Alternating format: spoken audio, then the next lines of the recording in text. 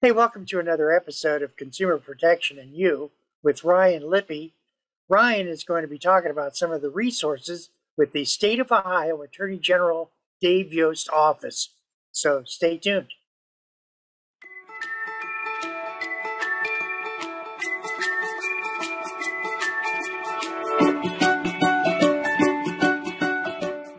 Welcome to another episode of Consumer Protection and You with Ryan Lippe. Ryan is a consumer educator with the State of Ohio Attorney General's Office, Dave Yost. Ryan, it's always a pleasure talking. Nice to be with you. Thanks for having me. And today we're going to be looking at the resources. You know, your websites and all the different programs that you have is just chocked full of information. It's just amazing how much you're able to put on the screens. Yeah, and it seems like we're always adding to it. We don't really subtract because the information is very important throughout the year. So we usually add rather than subtract. There are a few features that come and go, but for the most part, we're adding alerts. We're having things that are being value added for the services we provide to the constituents of the state of Ohio. And we are on ohioprotects.org. And as you see, um, part of our big campaign right now is to get people to not answer robocalls, or if they do answer robocalls, to actually report them to our office. But we're going to go down below and um, I'll take you down this screen at ohioprotects.org. I'm still on the front page. I'm just scrolling my mouse down. And we have lots of information filled with information about robocalls because we're doing a lot of education right now about illegal robocalls, why they look like they're coming from your area, how you can report the illegal robocalls, things like that. But I want to skip down to researching a business because a lot of people don't know that we are a really good resource when it comes to figuring out whether a business is right for you or not. If you're going to be getting some roofing done on your house, if you're going to be getting a new air conditioner, if you're going to be buying a used car, if you're going to be using a travel agent, all those different kinds of things and everything in between, um, we are very much involved in taking complaints against. So if you want to research a business beyond the Better Business Bureau and beyond um, going online and doing a search for the company's name with words like complain or scam or report, you can do um, a lot of inf- you can do a lot of searching on our OhioProtects.org website. So if I start a business, does my name uh, automatically get into this? No, um, you would need to have complaints against you Oh, that okay. would then so um, the Ohio Secretary of State's office handles business registration. So people can always go to the Ohio Secretary of State's office to find maybe what names a company is using or what company a, a consumer may own and operate. But in terms of our complaints, those usually go to the Ohio Attorney General's office, the Better Business Bureau, folks like that.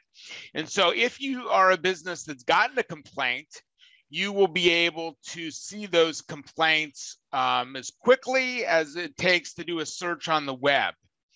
And you won't get too deep into the complaint till you have to request a public record. And that we can definitely furnish to consumers that want more information about a company and how a particular issue was resolved. But the first thing you want to do is go to learn more at the research a business tab.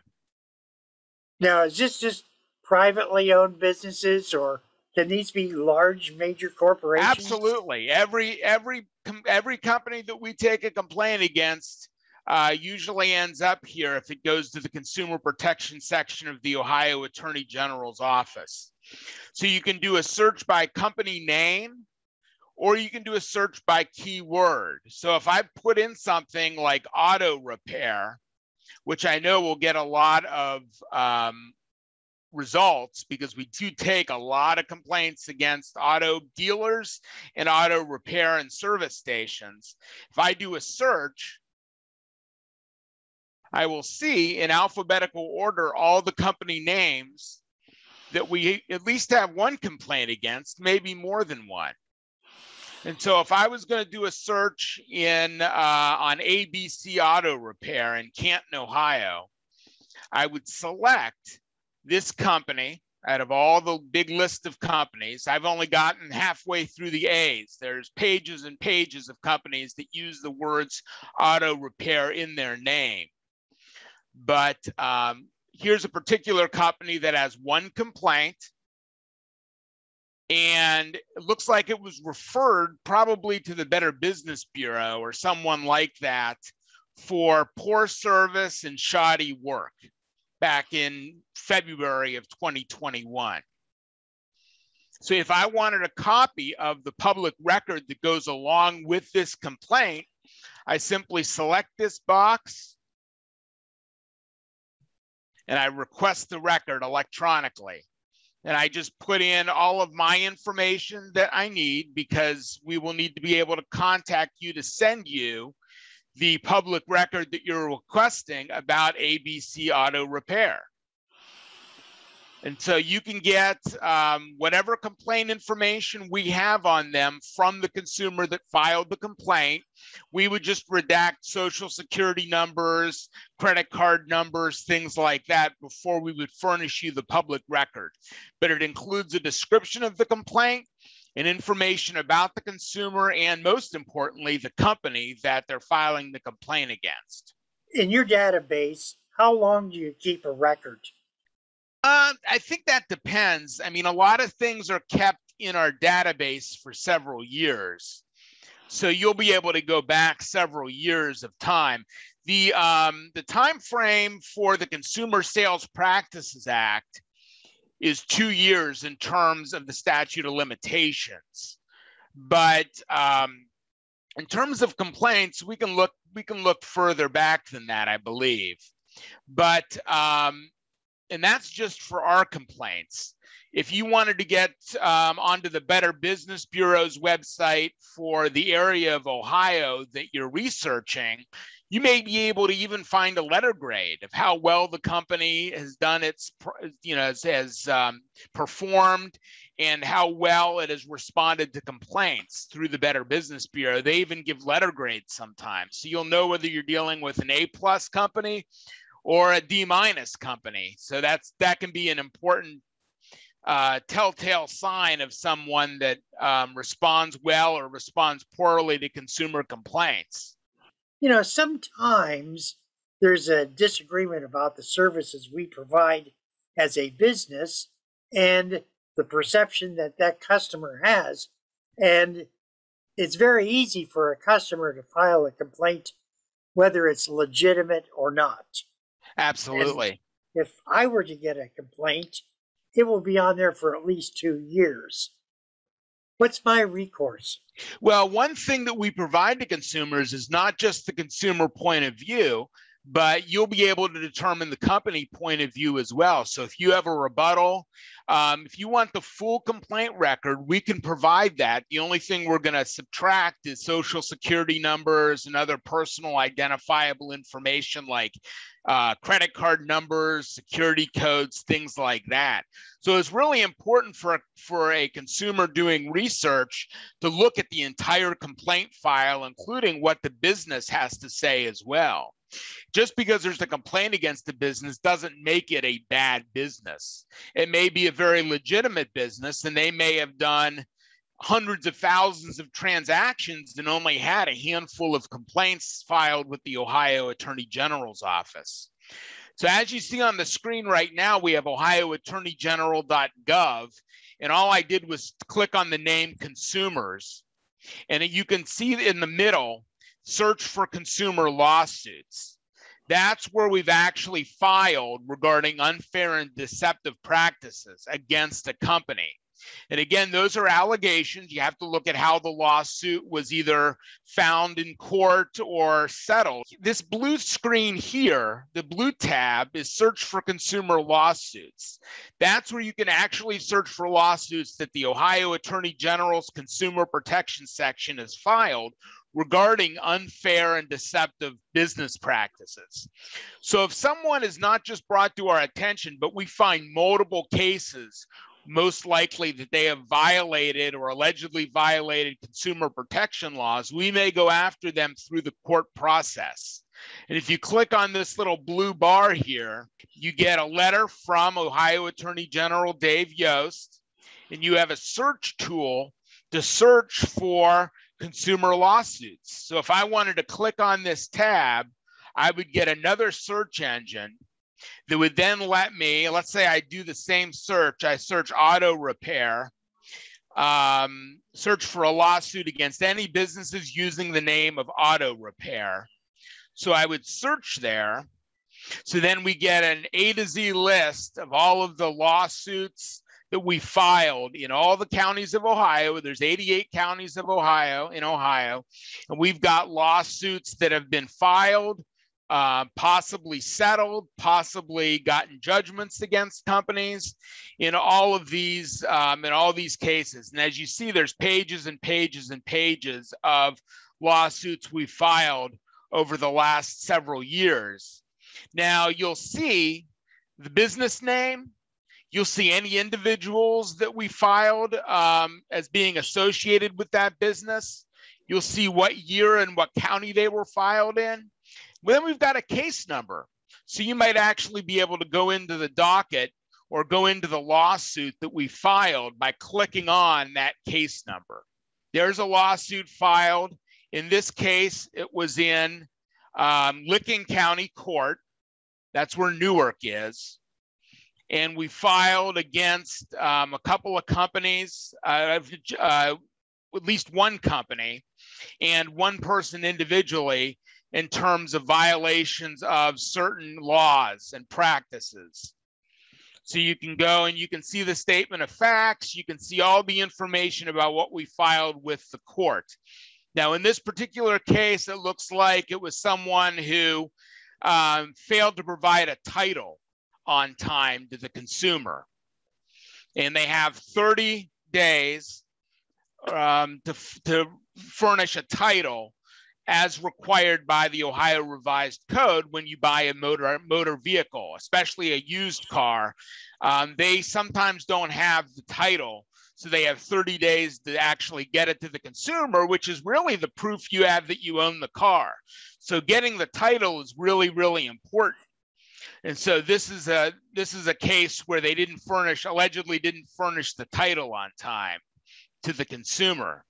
I'm assuming if they're 31 days off and I file a complaint, eventually it will get into a lawsuit.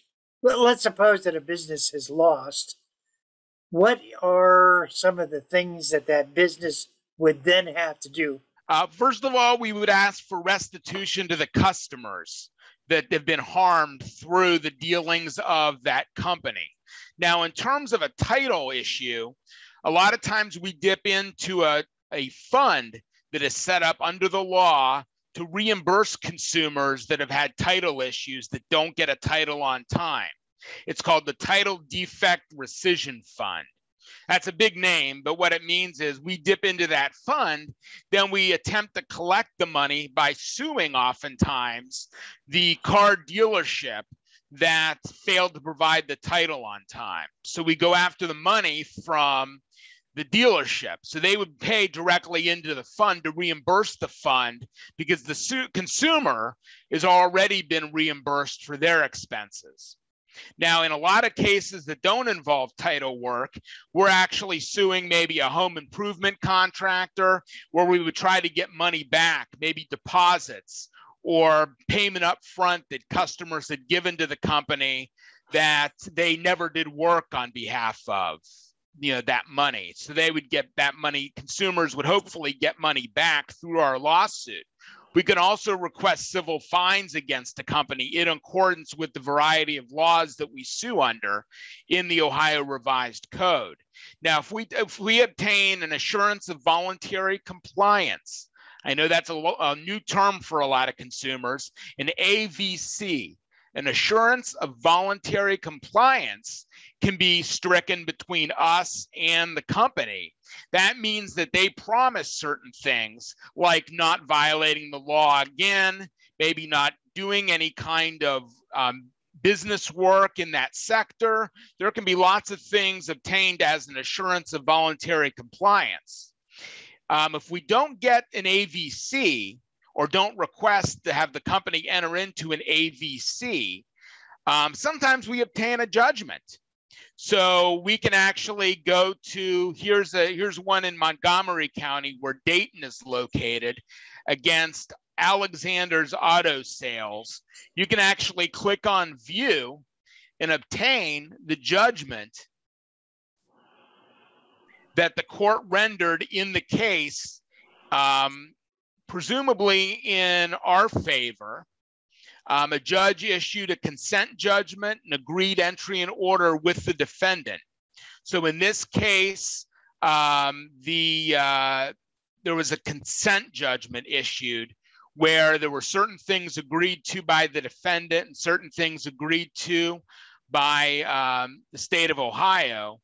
And we probably have some payments involved from the uh, from the company to uh, the state of Ohio to reimburse the title defect rescission fund and um, various other matters to resolve complaints that consumers have filed. So that's just an example of what you can get from our um, database of information on lawsuits that we've actually filed against companies in judgments we've, we've been able to obtain on behalf of the state of Ohio. So you see everything from everything from auto dealers to home improvement contractors to uh, maybe travel service companies, all kinds of folks that allegedly have violated consumer laws and rules. I, I would assume that larger corporations, the means to have attorneys and lawyers, um, because let, let's face it, no one is ever perfect and someone makes a mistake. Sure. And oftentimes it can be the consumer misunderstanding what the the large company can do. Absolutely. And they would have they would have counsel that can communicate with our office. And uh, you know, when we do an informal dispute resolution, we're not really a finder of fact like a court would be. We informally try to let the business know the consumer point of view and let the consumer know the business's point of view and try to be that middleman that can help resolve the complaint. When we go to court, that may involve the company having counsel. There may be discussions between our office and counsel for the company, so they get their fair um, you know they get their fair point of view into the discussions.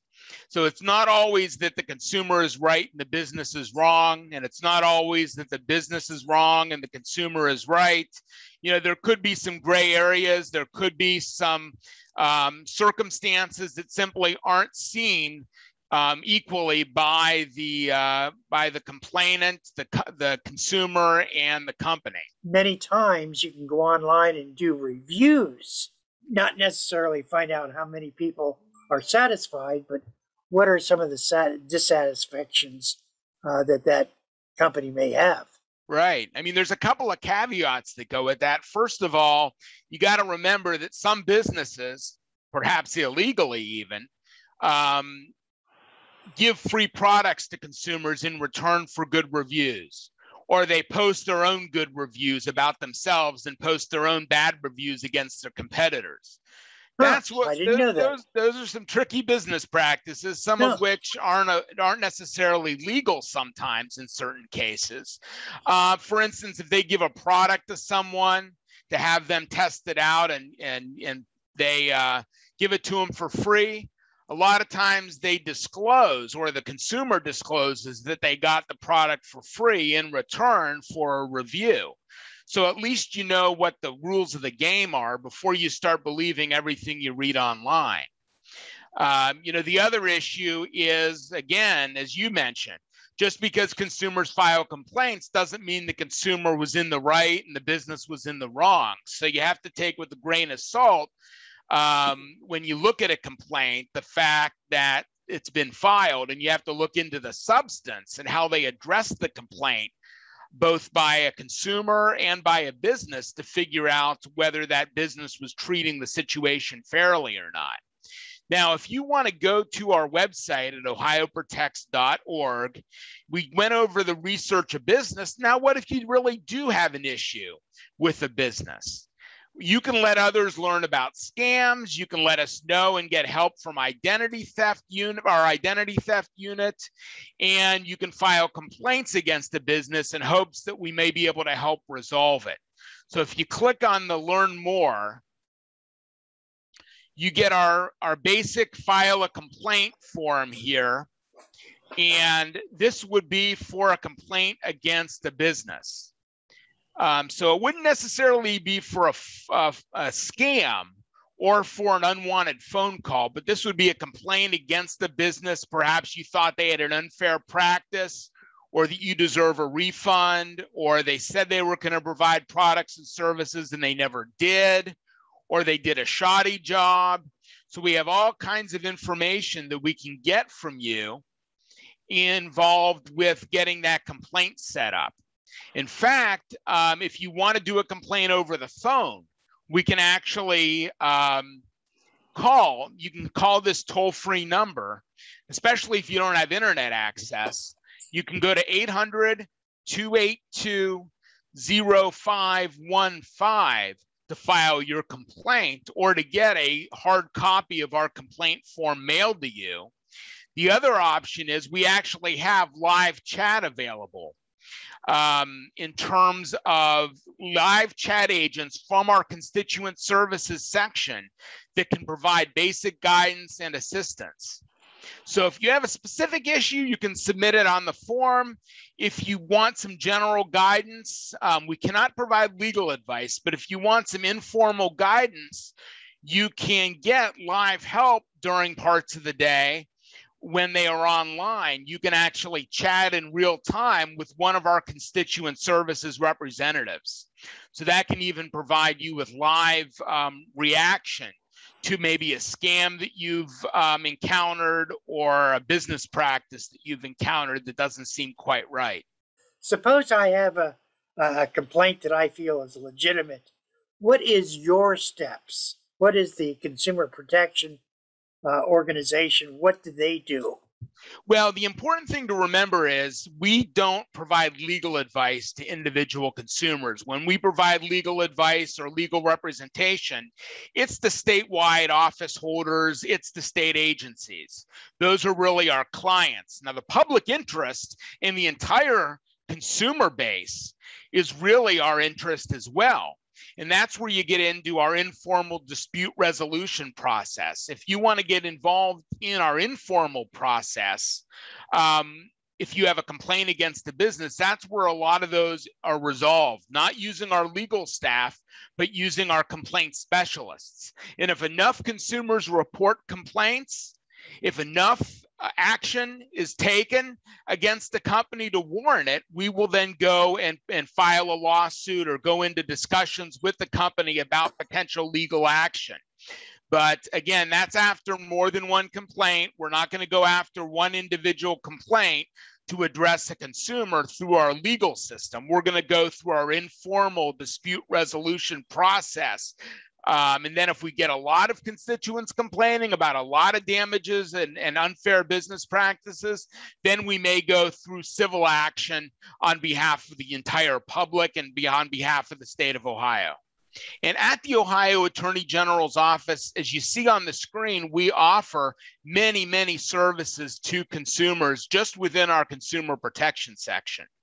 You can file a consumer complaint. You can also report an unwanted phone call. We have a special form that um, you can fill out. It takes less than a minute to report an unwanted call. Other things you can do is you can get foreclosure resources, report a scam, request a consumer or a small business presentation, And also sign up for our Consumer Advocate e newsletter. If you have an email address, please sign up for our Consumer Advocate e newsletter. It's really as simple as going to this screen and inputting your email address and submitting it. You will then be added to our list that we send a newsletter out to every other month. So we really want you to be part of our communication channels, and you can have um, a newsletter sent to you every other month by email for absolutely free. Want to want to thank you again for a really informative telecast. Hey, we're talking with Ryan Lippe. Ryan is a consumer educator with the State of Ohio Attorney General's Office, Dave Yost, and uh, again, Ryan, thank you. Thank you so much. I appreciate it. And if people need more information, we are at ohioprotects.org or ohioattorneygeneral.gov. And if they don't have access to the web, our toll free number is always 800 282 0515 for the Ohio Attorney General's office.